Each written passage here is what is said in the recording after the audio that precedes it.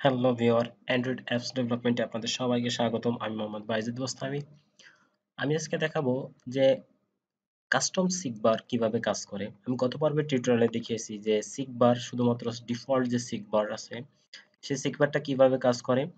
তো আজকে দেখাবো কাস্টম কীভাবে কাস্টমাইজ করা যায় সিকবারটাকে কাস্টমাইজ করা যায়, এখানে এখানে যে থামটা আছে সেটাকে কাস্টমাইজ করা যায়। তো সেজন্য সরাসরি আমরা অ্যান্ড্রয়েড স্টুডিওতে চলে যাব। অ্যান্ড্রয়েড স্টুডিওতে আমি গত পর্বের টিউটোরিয়ালে দেখেছিলাম যে এটা তৈরি করা দেখেছিলাম যে কীভাবে করতে হয় এবং বিস্তারিত সেখানে বর্ণনা করছি। তো ভিডিওটি না দেখলে অবশ্যই দেখে নেবেন। তো এখন যে কাজটা করব, এখানে আমরা এই এই থামটা আমরা চেঞ্জ করব।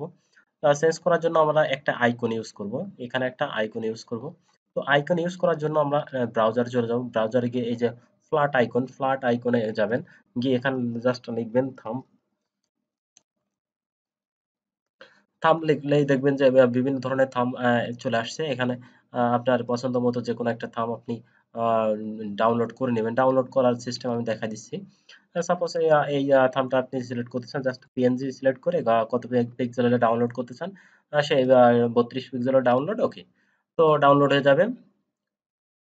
তো এখন এখন যে মেইন কাজটা করব, সেটা আমার অলরেডি ডাউনলোড করে রাখছি। জাস্ট এই ড্রয়াবল ফোল্ডারের ভিতর আপনি অ্যাড করে নেবেন। ড্রয়াবল ফোল্ডারের ভিতর এই ট্যাব নামে আমি একটা আইকন অ্যাড করে রাখছি, আপনি আইকনটা অ্যাড করে নেবেন। আশা করি আইকনটা কীভাবে অ্যাড করতে আপনারা পারেন। তো আইকন অ্যাড করার পর এই প্রোগ্রেসিভ বারের ভিতর আমরা যে ট্যাগটা ইউজ করব সেটা হলো থাম থাম এটা ইউজ করলে এখন আইকন ড্রয়াবল ফোল্ডারের এই ট্যাবটা আমরা আইকনটা সেট করে দেব তো দেখতে পাচ্ছেন আইকনটা সরাসরি চলে আসছে সিগবারের উপর। তো এখন এখন আমাদের এই সিগবারের কালার বা বিভিন্ন কাস্টমাইজ করতে হবে, সেজন্য আমরা একটা কাস্টম এক্সাম্পল ফাইল তৈরি করে নেব, যার কারণে ড্রয়াবলের ভিতর ক্লিক করে নিউ নিউ থেকে ড্রয়াবল রিসোর্স ড্রয়াবল রিসোর্সে যাব। এখানে আমরা নাম দিলাম custom custom seekbar custom seekbar দিলাম নামটা, এখন এন্টার দিলাম। তারপর টেক্সট সিলেক্ট করব। এখন এর ভিতর এই সিলেক্ট এই সিলেক্টরের ভিতর সিলেক্টরের ভিতর আমরা একটা আইটেম অ্যাড করব। তার সেই জন্য আমরা item item item items item close করে দেবো এবং আইটেমের ভিতর শেপ একটা শেপ নেব আমরা। শেপ শেপ শেপটাকে আমরা ক্লোজ করে দেবো।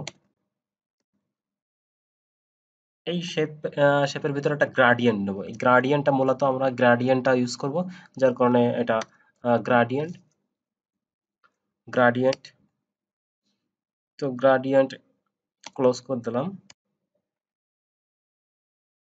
এই গ্রাডিয়েন্টের ভিতর মূলত আমরা, আমাদের মেইন কাজটুকু করতে হবে সেটা আমরা gradient start colour end colour middle colour সবগুলো সিলেক্ট করে দেবো। তো আমি সিলেক্ট করে দেওয়ার জন্য এন্ড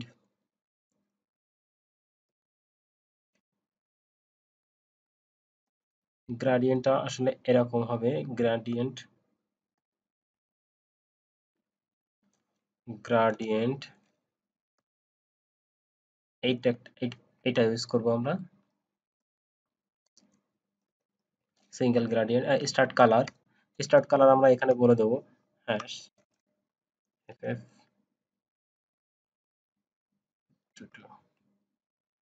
তো আমরা স্টার্ট কালার বলে দিলাম স্টার্ট কালার হবে এটা। এবং স্টার্ট কালারের সাথে সেন্টার কালার আমরা দিয়ে দেবো। সেন্টার কালার সেন্টার কালার যে কোনো একটা কালার আপনার পছন্দ মতো একটা কালার আপনি দিয়ে দিবেন। তো আমি দিলাম এফ এফ তো কালারটা বোঝা যাচ্ছে না, আমি তো এখান থেকে সিলেক্ট করে আমি একটা অন্য একটা কালার সিলেক্ট করে দিলাম। তো কালারটা হয়ে গেল। এখন আমি একটা এন্ড কালার করে দেবো। End colour end colour F F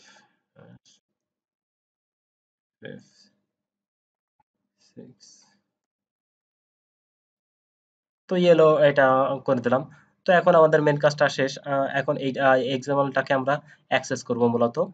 তো অ্যাক্সেস করার জন্য আমাদের যে ট্যাবটা ইউজ করতে হবে সেটা হলো progress drawable progress drawable progress drawable গিয়ে এই যে কাস্টম ড্রয়াবল কাস্টম সিকবার তো এটা ইউজ করলে দেখতে পাচ্ছেন এটা অটোমেটিক শো করতেছে। এখন আর বাকি কাজগুলো তো অলরেডি আমার করাই আছে, আপনারা আমি গত পর্বের টিউটোরিয়ালে সেটা করে রাখছি। এখন আমি যদি বাটনটাতে প্লে বাটন ক্লিক দিয়ে অর্থাৎ প্রোগ্রামটা রান করি, তাহলে আশা করি দেখা যাবে যে সাকসেসফুলি রান করতেছে। তো রান করলে দেখতে পাচ্ছেন এরকম একটা প্রোগ্রেস বা হ্যাঁ হ্যাঁ সিকবার দেখতে পাচ্ছেন এখন ইয়া করলে টাচ করলেই কাজ হচ্ছে এবং একটা টোস্ট শো করতেছে। সো আপনার ভিডিওটি ভালো লাগলে অবশ্যই লাইক করবেন এবং সাবস্ক্রাইব করতে ভুলবেন না। ধন্যবাদ দেখা হবে পরবর্তী টিউটোরিয়ালে নতুন কোনো টপিক নিয়ে। ধন্যবাদ।